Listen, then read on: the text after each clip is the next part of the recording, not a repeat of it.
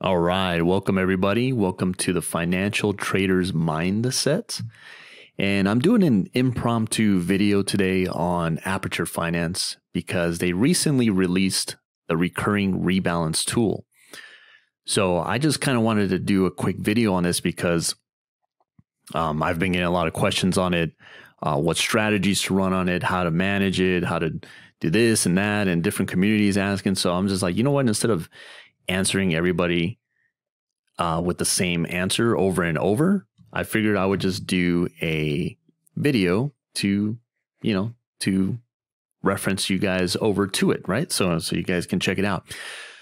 All right, so uh, I'm just gonna give my overview, just my over overall uh, thoughts on it. Um, I haven't used it personally. Um, I just kind of messed with it a little bit, just kind of tinkered around with the with the tools and the little triggers and everything. Just try to see, uh, get a feel for it. Um, I manu I usually just manually manage my LPs, but uh, I really want to get over to start using this. Um, but anyways, uh, I was looking at this and I want to give my thoughts on it. Right, I want to give you my overall thoughts, how to use it, uh, what does each feature mean on this recurring rebalance, and uh, what kind of strategies to run. You know, if you're like bullish, bearish, neutral, right? Um, I'll just kind of give a brief overview of how to set something up using this tool. All right, so here's the page app.aperture finance. Uh, you go over to the recurring rebalance over here, and I already have it set up here, right? So I have a small LP here, Matic USDC. Um, it's it's just sitting there. It's been sitting there for a while. So I was able to use this as an example, just to kind of given you know just kind of check it out, right? So what you have here is a trigger setup, and what this trigger does is that you set up a you set up these parameters so that the tool will automatically take over the you know managing your LP, right? So when it hits those when it triggers those parameters, it will take the liquidity, rebalance it, rearrange it into a new pool uh, every time that that same trigger hits over and over, right? So in this case, you have a trigger for price and a trigger for ratio. Okay, so first you got price, right? So it's kind of self-explanatory. Uh, in this instance, for Matic, if the price of Matic, in this case, gets above 1.6 or 16 cents above the spot price, they'll rebalance for you, right? Or below 16 cents the spot the spot price, they'll rebalance for you, right? Um, kind of make it a little bit more realistic as people like to go a little tighter. You know, you could go 0.05, you know, on here, and it'll rebalance it either five cents above current price or five cents below current price. All right. Okay, so got a little visitor here. But uh, okay, so just picking off, picking up where I left off. Uh, so yeah, you get a trigger here, five cents above, five cents below. So if it hits any of those triggers, what happens here is that you get a rebalance here. And I, I believe this token terms, uh, particularly this section here, I think I think something's off here, right? Um, I'm thinking it should be showing the price of Matic per USDC, but I think it's showing ticks, or maybe it's percentages, Um, because it's very similar here, right? Like if I move this, so there's a bug there. I've already let them know about it. So um, but when they fix it, uh, you should have the price of Matic, right? Like, say, if it gets five cents below, then you want it to rebalance. Um, I guess it would. This would have to be like point like zero two cents below, right, or whatever you want, right? But you can't enter it there. So I, we're gonna need clarification on that. I don't know if that's. I don't know what's going on here, but it's um, yeah, I'm not sure what they mean. Maybe the amount of Matic per USDC. Uh, if they could put like a little infograph here or something that kind of just explains it, would be great. But I'm thinking either it's like ticks or maybe it's uh, a bug here that's just matching up with the percentage here. Um, or it could be the amount of Matic per USDC that you want it below from the current the current price, right? Like if you wanted uh, four Matic per USDC below the current price, but man, that would require a lot of calculation. Um, but I guess you would only do it once. But we'll wait for for some clarification on that. Hopefully, they put a little infographic here or something to explain that. Because uh, I've gotten questions on that. I'm just like, I don't know, like especially on Matic, I'm not sure. So, so anyways, uh, I'm assuming this would be Matic per USDC. You could do that, or you could have the rebalance action taken on a percentage basis. Okay, so you could have the percentages set as well. Now, what this means is that you could have the width of the pool on the downside and on the upside specified in a in a percentage width. Or um, you know, if you wanted if you wanted to maintain like a a it's kind of like a I would say kind of like a uh, like an automated pool like Arrakis or um, Gamma, right? Where it just kind of maintains a width around price, right? Like save, you know, let, let's just make it more specific here. Like if you really wanted to run a tight pool and you don't care like about impermanent loss and and the and the price is just or the volume is just so high that the yields are so high, say like on a shit coin that's just really generating a lot of yields. You want to run a really tight pool, and all you're concerned about is just extracting that yield as much as you can, as quickly as you can, for as long as it lasts. Because you know those don't usually usually they end up fizzling out, and then the the volume goes away, and then you're just ready to withdraw, right? So if you're just on a you just want to extract as much yield as possible, this could be a good one, right? Like, uh, say the shitcoin is like at 80 cents, and you're like, every time it gets, you know, even like one cents below and one cent above, right? That's where it just kind of rebalances right around price and just keeps price centered. And you could even like tighten this up even more, like 1%. That's like extreme and it's it's kind of like it is a truly like automated strategy right? Like a like a just a yield generating strategy. You could really extract as much yield as you can from from like some of these opportunities that are generating a lot of volume right? That's where i can see that being of huge value because to do that manually is like nearly impossible.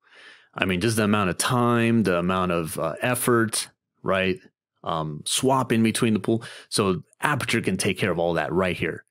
That's perfect for that. Now let me move over to the ratio. Ratio is good too. Uh, now this depends, like, you know, I think this would be more so suited for a directional strategy. Now here, let, let me explain here.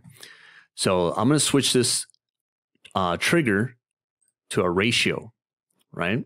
Trigger setup set to ratio.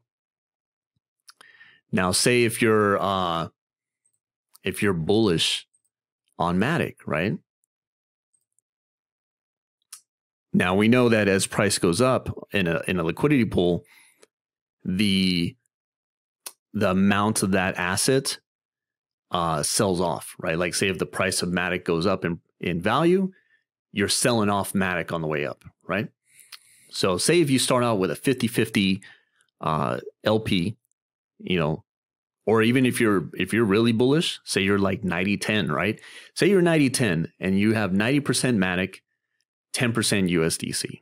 And you're like, okay, whenever you're just like whenever the the ratio of my LP of Matic gets below 80%, I want it to rebalance if you had 90 a 90% matic in here and you're like okay i want to maintain a 90% ratio uh, or even say like keep it tight like 85% when the when the ratio of my pool gets below 85% or if you're a little bit if you want to give it some room and let it just because you know matic can move 5% in a day right?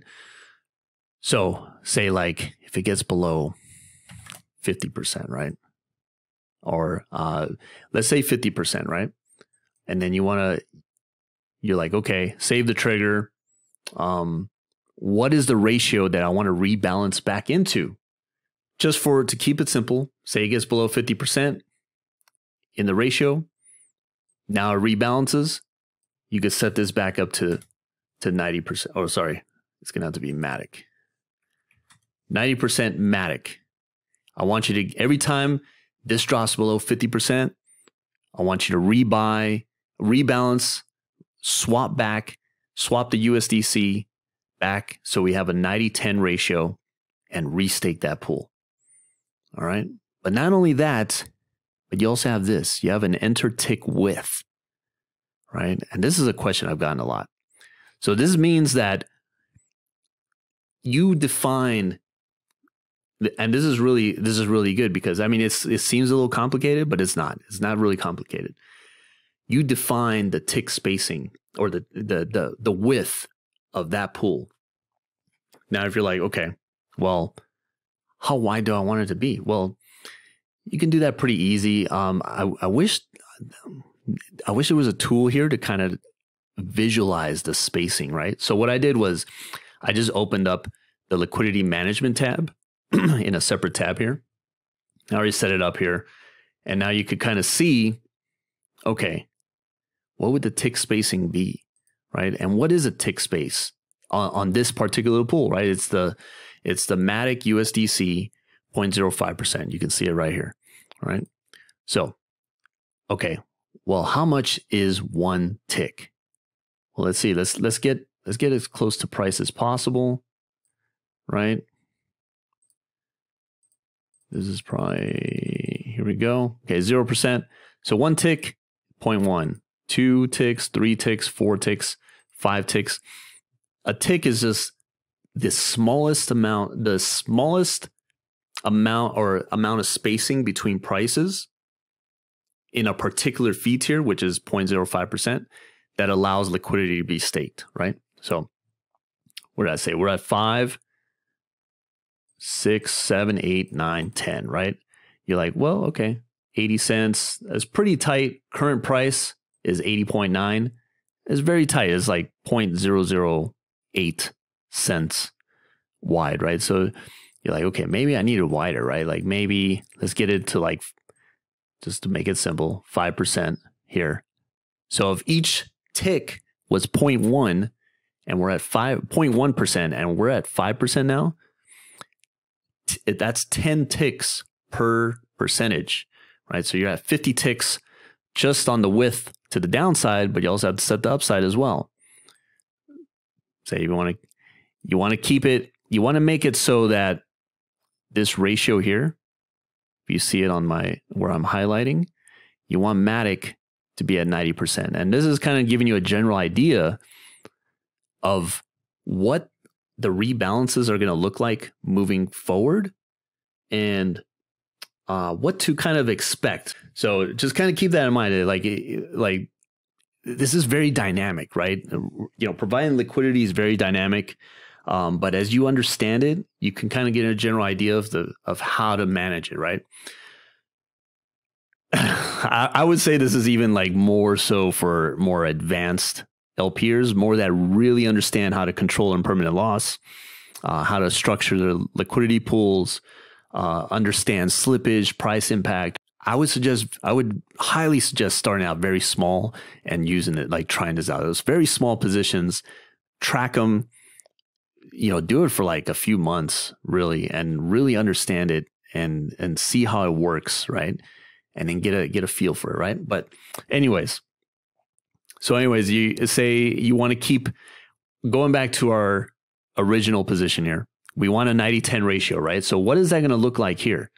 Well, we're at 50%. We're going to have to go wider, wider up on the top end till we get to 90%. And what is that going to look like? Have to zoom out a little bit. We're going further out, right? We're in the we're over a dollar right now. Hmm. Okay, that's a little too wide, right? A dollar forty, 76 to a dollar forty, that's too wide.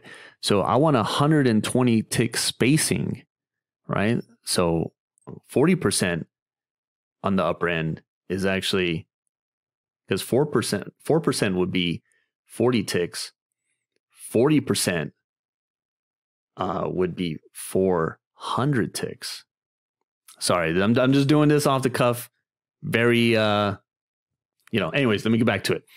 So, yeah, so you have a, a uh, 20 tick wide lower range, and then you have a 400 tick upper range, right? So that gives you a dollar thirteen. You're like, you know what? I like that. I like. I wouldn't mind selling all my Matic up at a dollar thirteen. Um, uh, the lower end is kind of is pretty tight down here. Um, maybe I would like it a little wider, right? Say let's do like ten percent. Current price is eighty point nine. Your lower price here, seventy two cents, seventy two point eight cents on the lower end of the range. That's your max lower end. And then you have that. Okay.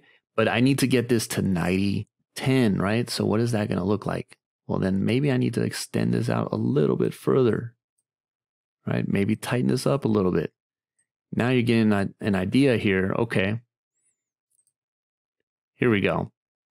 So I got 45 ticks on the downside, and I have almost 600 ticks on the upside. Okay, well, maybe it's too wide, right? And then you could adjust it and play with it. But the idea here is that you get the idea of the amount of ticks. And you see here, okay, if you're satisfied with this and you're like, okay, 45 plus 600, right? Let's just make that an even 600. There you go. 600 plus 46. Yeah, because price is probably just moving a little bit. Okay, 45 plus 600, that's 645 ticks right? So you come here, you're like, okay, let's pop in 645 ticks. There you go. You set your your gas fee ceiling, right? You know the max amount you want to pay. The idea here with uh, the gas, you want to set up a gas fee ceiling that's reasonable but not too high, right? Because if if gas is too high when this rebalances, that means there's a lot of volatility going on and there's a higher risk of slippage and price impact. So you want to you want this to trigger when volatility subsides, liquidity pools better around price, right? Things settle down, and then that's when you want to rebalance. That's where you get the best pricing. Okay. Uh, this is a little tip there. You don't want to be rebalancing in chaos, right? You want to be in the market while the chaos is going on. You want to be capturing those fees. You don't want to be rebalancing during that time. Okay, so there's that, right? Now, I'm not done there yet. I have, you know, you also have the ratio above. This is like if you're, if you're like uh, more, uh, if you are want to, if if say price is trending down, right? With Matic, you're going to be buying more Matic, which means the ratio would increase, right? It would increase as price goes down, right? Because you're buying more Matic and more of your inventory is becoming, uh, the majority of that inventory is becoming more Matic, right? So you're holding more Matic. So it increases in ratio. So this would be like a scenario where you're like, well, I like Matic, but I don't like it that much. I don't want to hold more than like 55% in my pool, right? So when it hits when the ratio of my Matic gets above 55%, I want it to rebalance and get it back below, uh, let's say 40% or back to 40%, right? And then, and then you set up the tick spacing based on what I showed you earlier. You know, you go through this again and just kind of kind of get an idea of what the rebalance would look like to get tighter, but still maintain that 40 60 ratio, right? So you can go further tighter you're like, I want to go tighter here. I want to get up to like, I want to get down to 95. Okay, cool. So I got to bring the lower range back up. And then you see, like, now you're back to 60 40, right? And now your price range is 64 cents to 95 cents. You're like, oh, cool. I like that. What is the tick spacing there? Well, I got 20% on the downside, which is 200 ticks and I have 18% on the upside, which is 180 ticks. So that's 380 ticks wide. cool. I like it to maintain that that type of range, that tick spacing based on my 40 60. So you come back here, that's 380, and then you just pop it in here, right? And then that's going to be the parameters you set. And it's just going to just, every time that trigger hits, when ratio gets above, boom, you know, it'll rebalance to that. Now you're probably wondering, so we, we cleared that, but now you're probably wondering, well, why are you only selecting a ratio below and a ratio above and not both? Well, this is because your rebalance is going to differ on the upside and on the downside. They're going to be different. Like, okay, say if you're like, if the ratio of Matic gets above 60 or below 40, okay, well, if it gets above 60%, okay, I want to sell off some Matic so it gets back down to 40%. There's an opportunity here that maybe uh, they could have, now if Aperture's watching, uh, they could probably have a second uh, you know rebalance action here, right? The rebalance action for the ratio above, and another one a rebalance action for a ratio below, right? Because your liquidity pool ratio would be different on the upside and compared to the downside, right? Like if if your ratio is above 60%, you're going to have to sell off some Matic to rebalance. If your ratio is below 40%, you need to buy some Matic to bring it up to whatever ratio you want, right? So you could do like, I mean, I guess you could do like 30% here and it could do it, but you know, I mean, it, it could work. This could work here. Like if you're like, okay, well, if it gets below 30%, then then rebalance to 40%, right? That could work. It could work. Um, although I I would like to see, like, say for me, like, if the ratio gets below, right, I would like to buy more Matic when I rebalance, or, uh, you know, yeah, I would like to say I would like to buy more Matic, or maybe maybe I don't want to be in as much Matic on the way up because price is moving up and say I have a different strategy for when price gets uh, a little too high, right? I'm like, well, I want to rebalance, but I don't want to rebalance to back to a 40 60 ratio, right? That's too um it's too risky up there. I'm buying Matic near the top. I don't want to buy Matic at the top. I would prefer to buy Matic as it's uh, using my LP to buy Matic, right? I don't want to be buying Matic at the top, right? Because you know whatever ranges I see, support resistance on chart, whatever like voodoo I have when I'm charting, um, you know, I don't want to. I don't. Yeah, I just don't want to buy Matic when when it's moving up, right? Like so it would be nice to i'm just saying it would be nice to have an option here but it is possible to just do you know to have both here and rebalance it's just not my preferred way of managing a pool right so it would be nice to just duplicate this and have one for the upper and one for the lower right all right so kind of getting a little bit long here with this video but uh one one other thing i had on here and this tool would be perfect for delta hedging right? I, I've touched on delta hedging, and it's a great way to reduce delta risk, like risk to price, while keeping while allowing you to keep a larger position staked and to generate a lot of fees, right? Like, say if you're like, okay, well, Matic is producing a lot of volume lately. It's generating, say, like on average 300 to 400, 400% APRs but I generally I I don't necessarily like to hold Matic, right? So how can I get some exposure, a lot of exposure, while minimizing my delta risk, my risk to price? What can I do? so we want to do a say a delta neutral position or delta hedged, right? That's generally neutral, right? Because we all know LPs fluctuate in ratios, right? So um, you want to keep you want to use a delta hedging position, right? You want exposure to Matic, but you don't want to really hold Matic or own too much of it, right? But you want to have a large enough position to take advantage of those yields, right? While the time is there, while the opportunity is there. So what you do is you take USDC that you own, you lend it out to Aave, and then you borrow Matic, right? And then you sell that Matic for USDC, right? Now you sell it all for USDC. So it's all USDC. Now you need to pool it. So you could pool it with Matic that you own, right? That you go and buy and and you and you set up a liquidity pool. Now you're delta neutral because half of it is borrowed, is borrowed Matic that's sold off for USDC. So essentially you're short Matic there.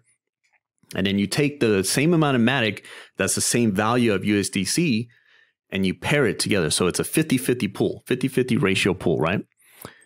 All right. So let's let's set that up here. It's a 50-50% ratio pool. Now, now you're like, okay, cool. Say like your pool value is 100K to make it simple, or say $10,000, right? $10,000 to make it simple.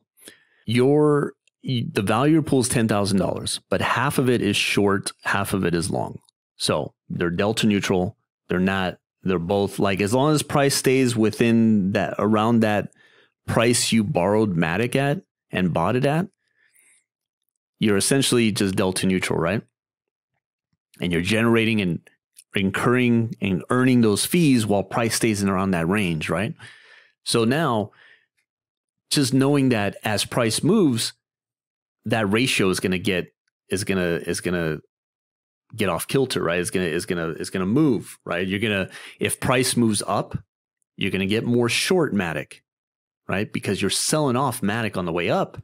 So that means you now have a short position that needs to be satisfied, right? But you're also having less Matic. So um, you start selling off Matic on the way up. And on the way down, you're buying more Matic, which means you start becoming more net long. Before you even stake this, this is where you ask the question well, uh, what is the max amount of exposure do I want to Matic on the short side and on the long side, right? If you start out at zero, do you do you mind being 10% net short or net long Matic. If you're do, cool. Can you go higher? Yeah. The higher you go, the more wiggle room you have in your LP to let it work for you, right? Because you don't want it too tight because then you're managing too much, maybe incurring a lot of slippage. Maybe it's not worth the time, right? So these are things you got to balance out, right? Liquidity, liquidity and slippage is huge when staking liquidity, right? When managing liquidity pools. You don't want to over manage to the point where you're losing a lot to slippage where it's cutting into your yields. You know, I mean, unless you're earning a shit ton of yield, then you know it'll overcome it. But if you're if you're playing a game where you're like earning like 100% APR or even 50% APR, now you have to be very selective on when and how you manage. Let's say in this case, you know, you're earning enough APRs, right? and you're like, you know what? I don't want to be more than 10% net long or 10% net short, right? All right. So you come here, come to this pool. I know this video is getting long, but stick with me here. So you're starting off 50 50. If the ratio gets 60% above, that means that you're buying more Matic, right? Because price is going down. Now, the, the net delta between the 60% ratio of Matic in your pool compared to your delta neutral of 50% Matic, right, of being short 50% is now 10%, right? Now you're 10% net long. You're like, okay, this is my max. I, I don't want to be more than 10% net long. So this is where I'll rebalance. How about on the downside? Well, I just want to keep it even and balanced. So I'm going to do 10% on the uh, short side as well. I don't want to be more than 10% net short. So you keep this from 50%. You, you don't want to be more than or less than 40% uh, Matic uh, or a Matic ratio in your pool, right? Because that would be mean that you're more than 10% net short, right? So that's your max. Cool. 10% on the upside, 10% on the downside. Now it rebalances. You want to rebalance back to whatever number you set, right? Well, you started off 50 50. So let's keep it 50 50. So keep it right there, right? Tick spacing. Now, this is where you go back here and you kind of get an idea. Remember from earlier in the video, I'm not going to go through this again because this is a very long video. And that's it. It'll just run that strategy until you stop it. And this would be perfect for delta hedging. And I would I love it for that. Anyways, so I'm going to end it right there. Uh, if you have any questions below, uh, please put them in the comments. I'll be happy to answer them. Um, you could also join my Discord to get more real time access to me. It's free to join. You know, I have free channels in there. You can ask your questions. I'm happy to answer them. Other other members of the community can ask uh, answer them. You know, my community is based around Uniswap V3, concentrated liquidity pools. Not only Uniswap, any concentrated liquidity pools. Um, how to structure. Um, if you need feedback on your strategy, right? We can we can help with all that, right? So as you get deeper into this, it does get more complex, but it's not very complicated once it's understood, right? So, anyways, thank you for watching. Thank you for bearing with me, whoever lasted this long. I don't even know if anyone's going to watch it this far, but uh, thanks again. Uh, please leave a comment below, um, like and subscribe, and I'll see you guys on the next one. Thanks.